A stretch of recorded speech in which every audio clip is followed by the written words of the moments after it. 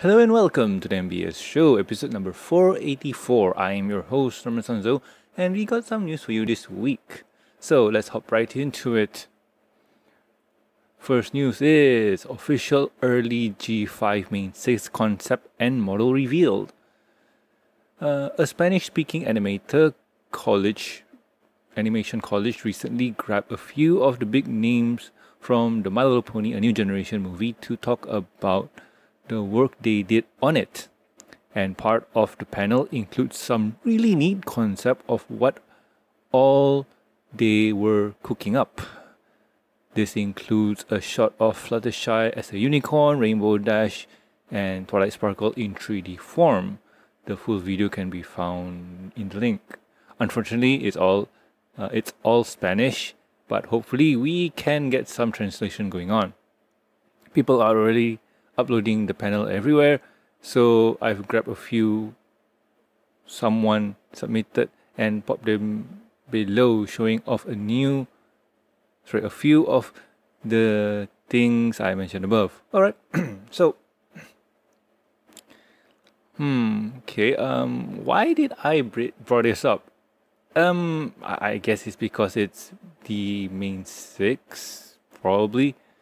So um okay uh, let, let's take a look see at a few and let me try to explain some things. Uh, okay one of the few things that we've uh, heard from way back in the days was about oh how G5 was going to be a remake of not remake um a newer generation of the show. So basically it's uh, foregoing whatever's done and starting anew and one of the few concepts that they tried to push was uh, changing some of the main six. Uh, for example, uh, Fluttershy was supposed to be uni- a unicorn, and uh, Twilight Sparkle is supposed to be an Earth Pony. Uh, Pinkie Pie, if I do remember right, was going to be a Pegasus, and um, I forgot. Like there's a few. Applejack is still going to be Applejack, but one of the few things that they try and did with her was um, with the hooves. Like if you notice the hooves here, like this is what they were going with uh, from the very beginning. Um, other than that, I can't really say much about um, about anything because um, honestly, I haven't seen the video yet. But yeah, I mean, I haven't seen the video because well, one's in all is in Spanish, but uh, this is pretty interesting. Um, here is one 3D model of Twilight, and here's one with uh, how how she's supposed to look like as well a unicorn so on. So basically, this is just one of the few things that the animators are doing, um, creating assets, just putting on the models and see how it works. Uh, basically, uh, we're gonna add on Twilight, that's normal, but uh, maybe they remove her horn and see how their hair um, joins back together or so on and blah blah blah blah. so oh, you can even see here that her tail is going ethereal. So uh, that's a pretty interesting um, concept and idea of what they're trying to do. And yeah, um, th- th- this is pretty interesting because with the uh, Fluttershy unicorn and whatnot, there there's that rumor way back when that's kind of true, but not really. I mean, it's kind of a rumor. And looking here, it's kind of true, but the concept art is way out there. But besides that, I'm guys, I, I'm I guess you guys know more than me about the concept art because I have not been keeping up. Um, Rainbow Dash here, honestly, I got no idea. Like I, I got no idea about this one. Um, personally, this looks like a cross between the uh, Pony Life Rainbow Dash because um, Rainbow Dash Rainbow Dash just mean doesn't look like this. It doesn't look like a mohawk going all the way up. Uh, this just looks a bit different. I mean, they could be going for, or they could be trying to research for Zipp uh, mane style, like how it looks like and so on. And yeah, we, we see some of the G5 cast here, like one, two, three, four, five. Yeah, we see the main five with the dad here and so on. Okay, and yeah, as time goes on, we get to see a little more of what they did with the eyes and whatnot, uh, how those are going to look like, and so on. I mean, I wish I understand the video, but nah, I, I, I haven't watched it yet. I wonder if anybody in the chat has talked about something like this. Uh, okay, none, none, none. So anyway, let's move on to the next news. Next news is complete My Little Pony a new generation transcript now available. Hmm. uh, oh, this is a Google Doc, and is it? Yep, yep, yep, yep, yep.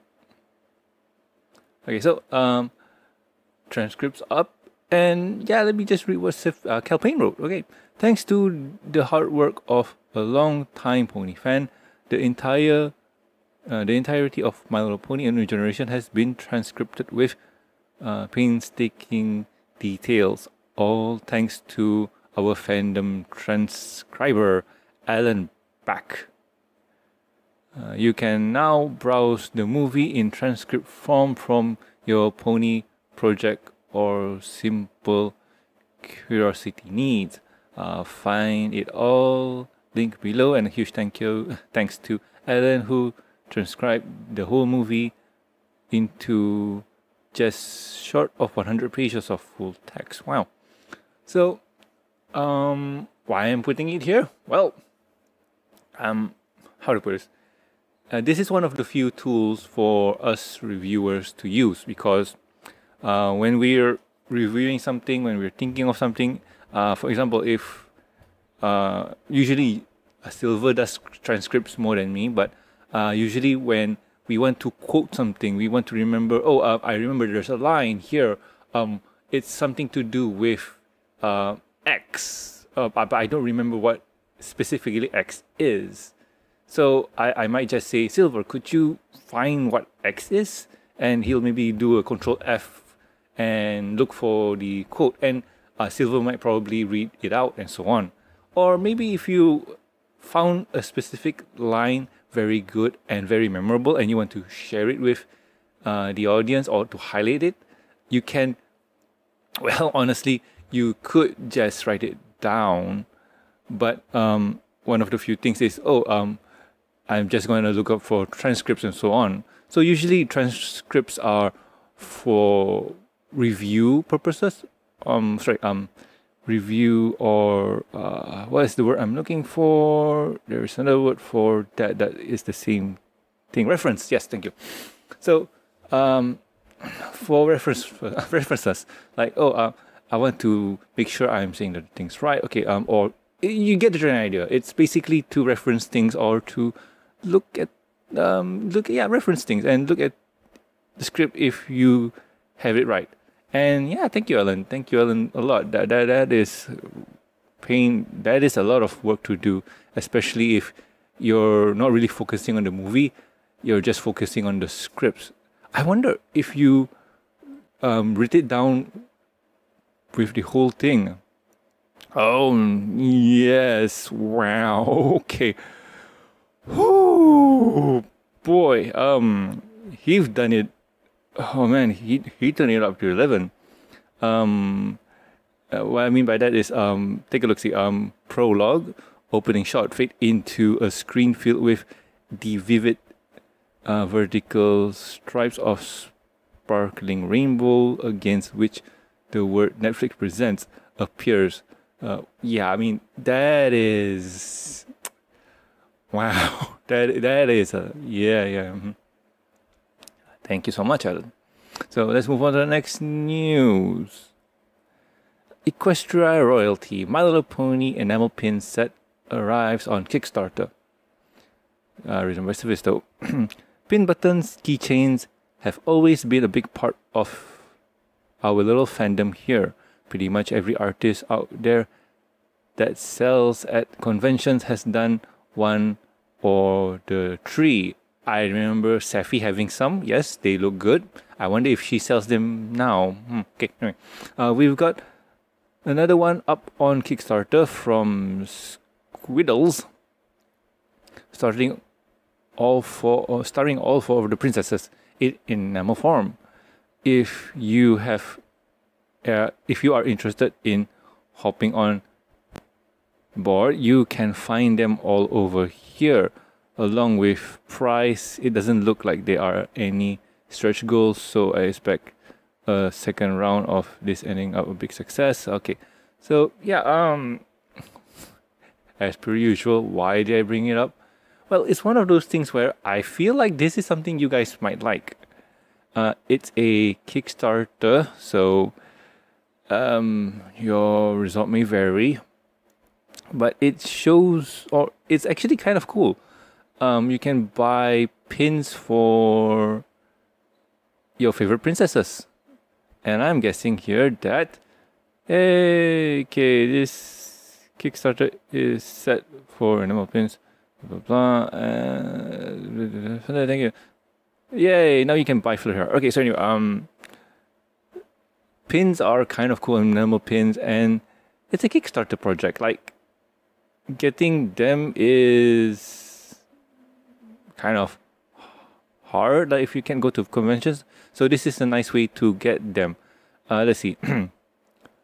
uh, you you can get you can just throw in ten bucks to say awesome job. Here you go, or uh, you can give twenty six bucks or more to get a flurry heart enamel pin. Uh, you can do so. I mean, everything is here. One enamel pin. Ah, so 28 bucks you can get uh, one of Twilight Luna or Cadance.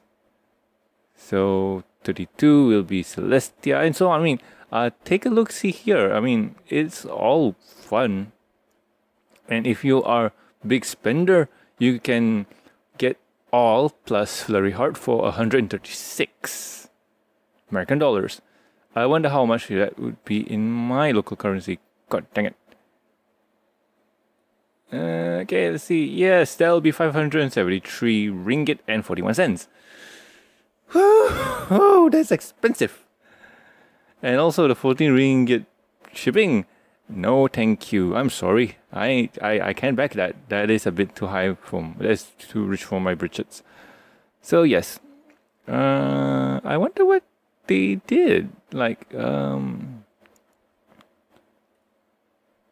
uh huh, okay. Mm, so yeah, mm, that's something for you guys to check out if you're interested in. And yeah, um, if your currency is higher than or equal to the American dollars, give it a give it a shot. Like, and honestly, I would buy it if I yeah, if I weren't spending five hundred dollar ringgit. Mm-hmm. Yep. So anyway, let's move on to the next topic. And topic is what have I been doing my week? So yes, um, I know I haven't posted an episode last week. Um, that's because I couldn't get much news, and I'm guessing uh, from what you've seen this week in the news, it's kind of um last week's plus this new one here. Um, I think I mentioned to you all before that the way I'm trying to do the um, podcast or the news show is that if I can't find any, I mean, I ain't gonna force it. Uh, my minimum for news is three. So yeah, if I if I can't find any, I'll stockpile them and carry it forward and this seems to be the trend or this seems to be working for me because uh, I think the only news I found for this week that I consider to be noteworthy is the quest uh, this one uh, there is one with the director and the interview and whatnot but in honesty that one was a bit iffy or um, can't really say much beyond that because uh, new interview with director. Yeah, okay. You know, I'll, I'll I'll just pop it up. Bonus for you guys. Uh, let's see. Okay, okay. A new interview with director of My Little Pony: A New Generation appears, including more concept slides. Uh, this is written by Sethisto. Okay. Uh, I wish we have gotten this kind of treatment for G4. I wonder how many amazing designs and ideas we we'll never get to see from that show's earlier creative stages. A new video has been released from Weird Market 2021, starring two big names from the My Little Pony A New Generation movie, going over the process they followed to give us such a huge Netflix hit. Uh, head down, head on down for that plus some images. Okay, so um, basically this is just more concept art and whatnot. Ah, we get to see how they look like and so on. Okay, that's cool.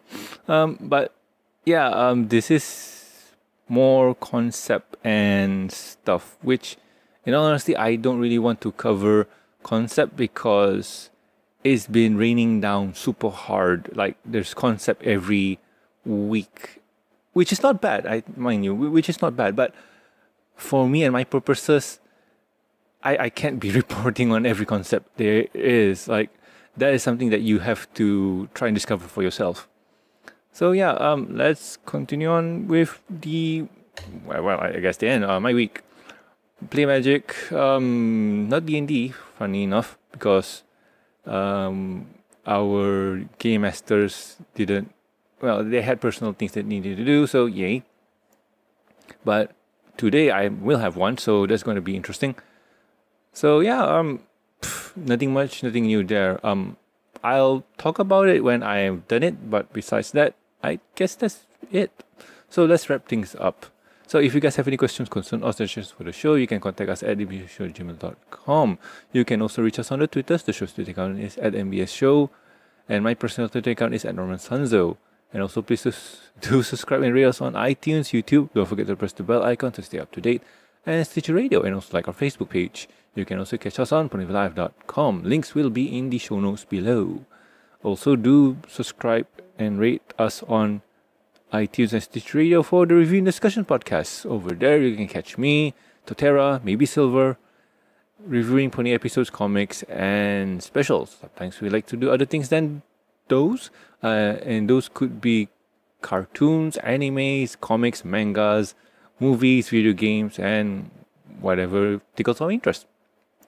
So, uh, if you'd like to support the show, you can do so at patreon.com slash mbs show. With every support, you get a week's early access to review and discussion podcast, exclusive and deleted content. And a huge thank you from me. Talking about the thank yous, I would like to thank Lucky Knight, Master of Lag, and also Tristan. Thank you so much, guys. You are great. I'm sorry for the lack of updates on the reviews, but yeah, man, life has been getting in the way. I know it's bad, but I, am trying to. I'm, try, I'm trying my best to not get busy. yeah, I'm sorry about that. So anyway, I have been Norman Sanzo, and you guys has been watching. Straight, I have been Norman Sanzo, and I'll catch you next week with another fun episode of the MBS show. See ya.